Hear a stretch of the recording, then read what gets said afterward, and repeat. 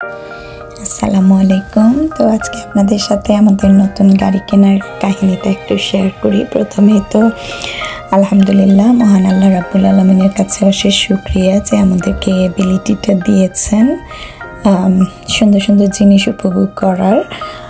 যাই হোক, তো আমরা গিয়েছিলাম টেসলা গাড়ির দেখতে। তো প্রথমে যেদিন দেখতে যাই, এদিন ওদের স্টোরে সাদাটা ছিল। তো আমরা মডেল ওয়াই কিনবো। তো এই মডেলের সাদাটাই ওদের কাছে ছিল। তো যাই হোক, তো আমরা এই গাড়িটা দেখলাম। টেসলা আসলে খুবই সুন্দর গাড়ি কমফোর্টেবল কার দেখলাম, ভালোই লাগল টেস্ট ড্রাইভ করলাম। তারপরে অবশ্য আমি একটু হান্ডাইয়ের ইলেকট্রিক কারগুলো দেখতে গিয়েছিলাম। আমার ওইটাও ভালো লেগেছিল হান্ডাইয়ের কারটাও ভালো লেগেছিল। কিন্তু ছেলেরা আর ছেলেদের বাবা, ওদের টেসলাই পছন্দ টেসলাই কিনবে। তো যাই হোক ডিসিশন নিয়ে আমরা আবার টেসলা স্টোরে গেলাম। গিয়ে ওইখানে গিয়ে তারপরে ফাইনালাইজ করলাম, করে এই যে কেনা হয়ে গেল। আমার ছোটো ছেলে তো মহা এক্সাইটেড সে ওইটা অর্ডার করবে। যাই হোক।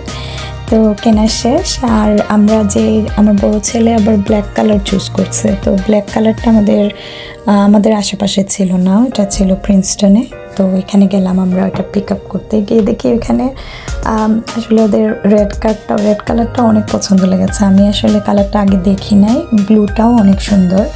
তো যাই হোক, আমাদের ব্ল্যাকটাও সুন্দর, আমরা তো ব্ল্যাক অর্ডার করেছি।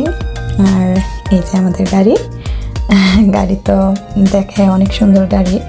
অবভিয়াসলি গাড়ির সামনে সুন্দর করে একটা নোট লেখা ছিল আমার নাম দিয়ে কংগ্রেচুলেশনস করা so which is very nice তারপরে এই তো কেনা হয়ে গেল।